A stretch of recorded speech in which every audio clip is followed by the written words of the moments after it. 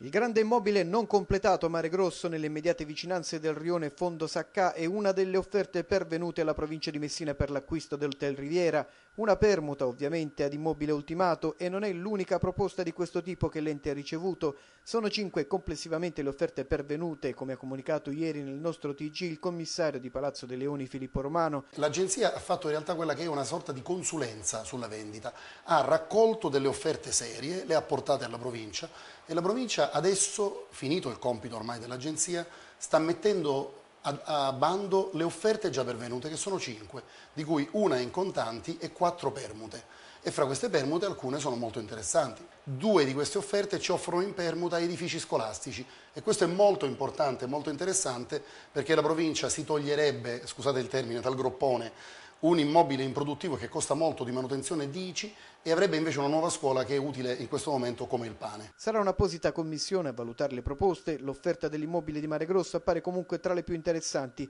perché consentirebbe di realizzare dove oggi c'è solo una grande impalcatura metallica un istituto scolastico, liberando l'ente da un affitto e rivalutando una zona degradata, il tutto dando in cambio l'ex hotel chiuso da vent'anni.